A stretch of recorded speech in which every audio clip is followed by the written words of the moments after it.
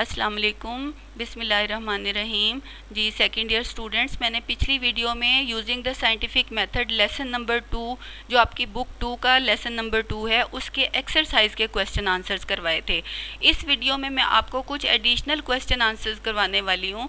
ये बहुत इंपॉर्टेंट हैं और ये बार बार पेपर में रिपीट होते रहे हैं। इसलिए आपने ये ज़रूर करने हैं, इनको छोड़ना नहीं है। क्वेश्चन नंबर वन है what health conditions did prevail in the past के माजी में सेहत के क्या हालात थे, किस तरह के हालात थे सेहत के? तो इसका आंसर है life was uncertain in the past माजी में ज़िंदगी गैर यकीनी थी। People suffered from various diseases लोग मुख्तलिफ़ बीमारियों का शिकार हो जाते थे। One who live more than thirty years यानी जो आदमी तीस साल से जायद जी लेता था वॉज़ बिलीव्ड तो समझा जाता था to be a lucky person यानी उसको एक खुश नसीब इंसान समझा जाता था।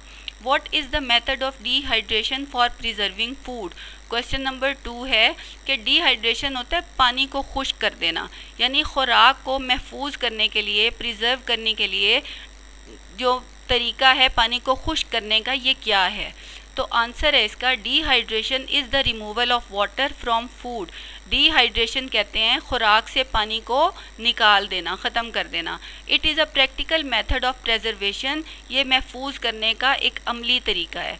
क्वेश्चन नंबर थ्री है state how science has made us open minded यानी ये बयान करें कि साइंस ने हमें कैसे ओपन माइंडेड बना दिया है। Science has made us open minded science ने हमें रोशन ख्याल बना दिया है। Now we are willing to look for new truths अब हम राज़ी हैं, हम तैयार हैं कि हम नए हकाइक को तलाश करें। लुक फॉर होता है तलाश करना। Than to assume that what has been considered true will always be true बजाय इसके कि हम ये फ़र्ज़ कर लें कि जो पहले सही समझा जाता था, वो अब भी सही है। क्वेश्चन नंबर फोर है what do the unsanitary conditions cause गंदगी की वजह से क्या हो सकता है? किस चीज़ की वजह बनती है गंदगी? Unsanitary conditions cause many diseases गंदगी के हालात बहुत सारी बीमारियों का बाइस बनते हैं लाइक टाइफॉइड फीवर जैसे कि टाइफॉइड बुखार है कॉलेरा है हैज़ा एंड डाइसेंट्री और पेट की बीमारी है, पेट की ख़राबी की। Question number 5. In what fields, according to Beryl Bernard and Lon Edward has the scientific method helped us? यानी बर्न बैरल बर्नर्ड और लॉन एडवर्ड के मुताबिक साइंस ने हमें किन जगहों पर, किन मैदानों में हमारी मदद की है आंसर है science has helped us in maintaining health science ने हमारी मदद की है सेहत को बरकरार रखने में it has helped us in the product production and preservation of food इसने हमारी मदद की है खुराक की पैदावार में और उसको महफूज बनाने में। It has help us in building homes इसने हमारी मदद की है घरों की तमीर में। It has change our eating and thinking habits इसने हमारे खाने की और हमारे सोचने की आदात को भी तब्दील कर दिया है। क्वेश्चन नंबर सिक्स है how is water supply to Los Angeles Los Angeles को पानी कैसे पहुँचाया जाता है, कैसे सप्लाई किया जाता है? आंसर है Colorado river is 544 kilometres away from Los Angeles Colorado river जो है, दरियाए कोलोरेडो ये लॉस एंजलस से 544 किलोमीटर के फासले पर है। A thousand million litres of water are carried through a pipeline हज़ारों लाखों किलो, एक मिलियन में टेन लैख होते हैं।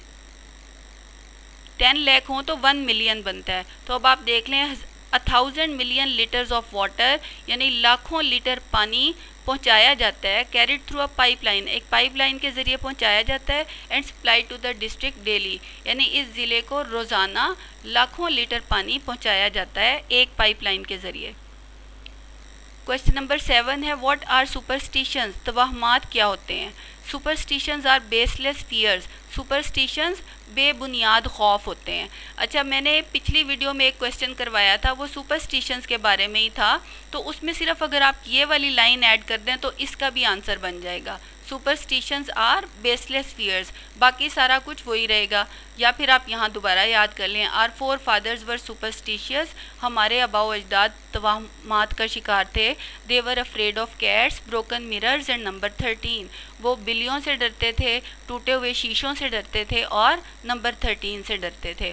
What do we mean by an attitude attitude से हमारी क्या मुराद है? An attitude means the way attitude से मुराद है, रवैये से मुराद है, वो तरीका we feel toward some idea और सम इवेंट यानी किसी ख्याल या किसी वाक़े की तरफ़ जो हमारा महसूस करने का अंदाज़ है, वो एटीट्यूड कहलाता है।